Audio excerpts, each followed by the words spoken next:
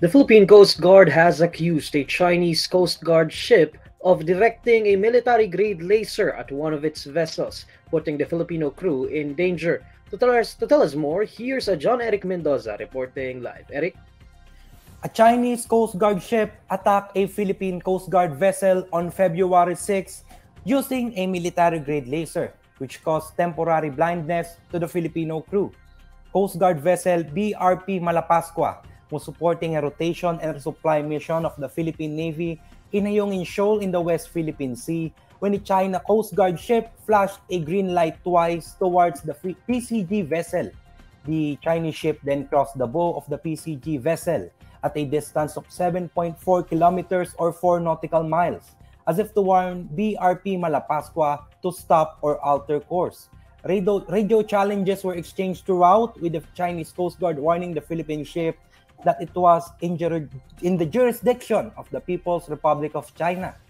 This despite the fact that Ayungin Shoal is within the Philippines' exclusive economic zone, where the Philippine Navy maintains its presence through the BRP Sierra Madre.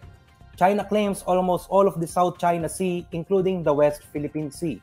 But in 2016, the United Nations-backed Permanent Court of Arbitration in The Hague invalidated China's claim to almost the entire South China Sea. Meanwhile, the latest maritime incident was met with a torrent of condemnation from lawmakers and the military establishment. The Philippine Coast Guard called the incident a blatant disregard and a clear violation of Philippine sovereign rights in this part of the West Philippine Sea. Armed Forces of the Philippines spokesperson Medel Aguilar also, also called for Beijing to restrain its forces to prevent provocative acts that would put people in danger. Senator Risa Hontiveros, meanwhile, said that China should be penalized for what she called a shameless harassment committed by the Chinese Coast Guard.